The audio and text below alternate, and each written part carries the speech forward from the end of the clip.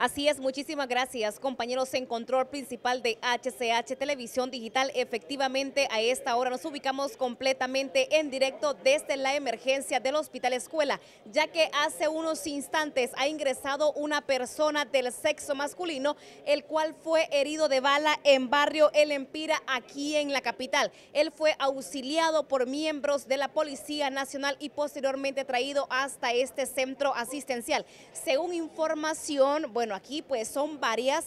Una de las hipótesis que se maneja es que él estaba en un taller de mecánica. No se sabe si él es trabajador o era cliente. Otras personas dicen que le iba pasando con su novia. Lo abordaron dos individuos, le hicieron una serie de preguntas y posteriormente empezaron a dispararle en repetidas ocasiones. Se nos ha dicho preliminarmente que él está fuera de peligro, gracias a Dios, y las heridas que él trae más que todo son en sus piernas. Él ya ha sido ingresado a la emergencia del hospital escuela y ya está siendo atendido por los médicos.